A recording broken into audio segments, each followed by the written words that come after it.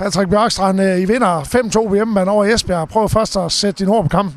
Jamen, jeg synes, øh, jeg synes, det er en god kamp. Jeg synes, øh, det kommer lidt, måske, lidt sløvt ud måske, men omvendt, så, så kan vi jo heller ikke altid forvente, at vi er på toppen hele tiden i 60 minutter. Så de, de kommer godt ud, Esbjerg. Vi skal lige tage en dyb indånding, og så lige finde vores spil. Og så synes jeg egentlig efter ja, 10 minutter, øh, halvvejs ind i første periode, der synes jeg, at vi kommer godt tilbage.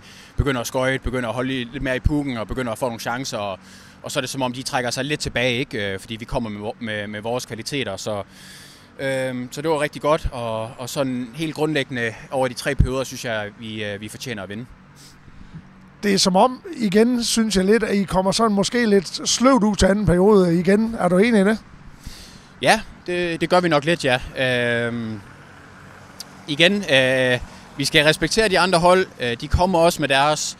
Øh, det blev lidt for åbent i anden periode, øh, og det fik vi også talt om, øh, da vi, øh, før vi gik ind til tredje periode. Men, men jo, øh, de begynder at, at få nogle chancer. De, de, det bliver lidt for åbent, og jeg tror ikke, vores, øh, vores hockey er ikke så meget det åbne spil øh, frem og tilbage kontra hockey. Det er ikke sådan, det vi bygger vores spil på. Så vi kom lidt væk fra vores spil, men, øh, men, men igen, jeg synes stadigvæk også, der var mange gode ting, og, og så selvfølgelig, hvordan vi slutter af i tredje periode, var rigtig godt når I skøjter, øh, og specielt øh, kører på i offensiv zone, det ser vi også i anden periode, øh, efter I måske kommer lidt skidt øh, ind i anden periode, så ligger I pukke på mål, og så kommer I til de her muligheder, som også gør, at I, I, I kommer foran 4-2. Øh, det, det, er vel, det er jo noget det, I gerne vil. Ja, præcis. Altså det, det er en af vores bedste kompetencer, det er at lægge pres på deres bakker, øh, pres på deres angriber og, og, og hele tiden øh, jagte pukke, øh, også i offensiv zone, men, men overalt på isen.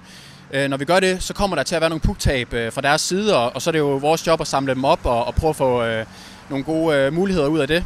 Øh, og så øh, dejlig øh, flot mål af Olli. Øh, dejlig arbejde af den kæde. Og øh, dejlige øh, powerplay-mål også. Øh, jeg tror kun, vi har to powerplay i dag, og vi, det vi kapitaliserer på en af dem, det er jo bare fantastisk. Så jeg synes, øh, rigtig, mange rigtig gode ting.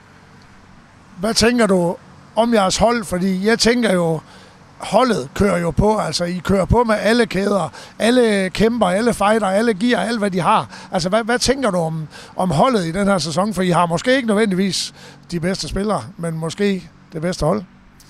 Ja, men det, det er et godt spørgsmål. Altså jeg tror, øh, vi har gået ind til den her sæson lidt, måske lidt anderledes end, end nogle af de andre sæsoner, jeg, jeg har været en del af. Øh, øh, men vi har gået ind med en meget ydmyg, ydmyg holdning. Øh, tilgang til tingene og arbejdet rigtig hårdt, som jeg egentlig synes, vi altid vi har gjort her i Pirates. Det, er ikke, øh, der har aldrig været en arbejdsindsats, øh, der har været et problem her.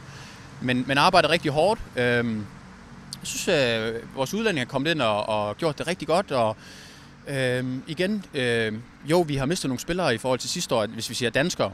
Men vi har stadigvæk også mange af de samme, og vi kender hinanden, og vi har spillet meget hockey. Ikke? Vi har et rutineret hold. Øhm, jamen altså, alle, alle danskerne stort set øh, har spillet rigtig, rigtig mange øh, professionelle kampe, så øh, jeg tror, godt, jeg tror, vi gik ind til sæsonen og godt vidste, at, øh, at øh, det ikke ville gå helt galt.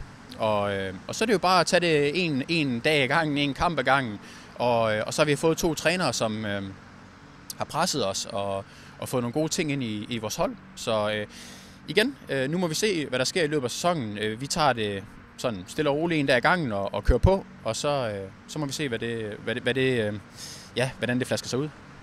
Jeg er klar over, det, det er meget tidligt på sæsonen, men I har nu mødt alle modstandere. I generobret i øvrigt øh, førstepladsen i Metalligaen i dag, øh, fordi Sønderjyske vandt i, i Odense. Hva, hva, hva, hvordan ser du, ligesom nu har I mødt alle sammen, jeg går ud fra Final Four, selvfølgelig stadigvæk er mål for jer. Ja, ja, altså ingen tvivl. Øh, det lægger vi ikke skjul på, og, og og det tror jeg heller ikke, nogen af de andre topklubber i, i ligaen, de lægger skjul på, at, at selvfølgelig er det en målsætning. Øh, så øh, jo, det, det ser jo godt ud lige nu, ikke? men igen, øh, ydmyg holdning, og øh, nu har vi en, en, en fed kamp øh, på søndag, som vi glæder os til, og vi har i, i det hele taget bare spillet mange kampe, ikke? så når man spiller så mange kampe, så er det svært at tænke for meget fremad. Øh, man er meget i, i, i momentet. Øh, så øh, klart, vores målsætning, og lige nu ser det godt ud. Jeg har også hørt jeres træner sige, vi, vi skal ikke uh, kigge frem mod øh, april nu. Vi skal tage en kamp ad gangen, og det er vel holdning. Ja, det er det nemlig, ja, præcis. Øh, der, der er stadigvæk meget at bygge på, og øh, også bare med kæderne ind, ind, i, ind i holdet. Øh, mange gode ting, øh, men, men igen, jeg kan se, øh, jeg kan se, at vi bliver bedre. Jeg kan se, at nogle af de ting, som, som trænerne øh, snak taler om, øh, de, de ting, vi kigger på video, taktisk osv., at øh, vi bliver bedre og bedre. Øh, og så er jeg rigtig glad for, for den atmosfære, der er i omklædningsrummet. Øh, øh, drengene de arbejder rigtig hårdt, og de, de, de skubber, vi skubber hinanden. Så øh, det, det, det, ja, det er en god opskrift, det er det. Så lykke med sig. Ja, tak.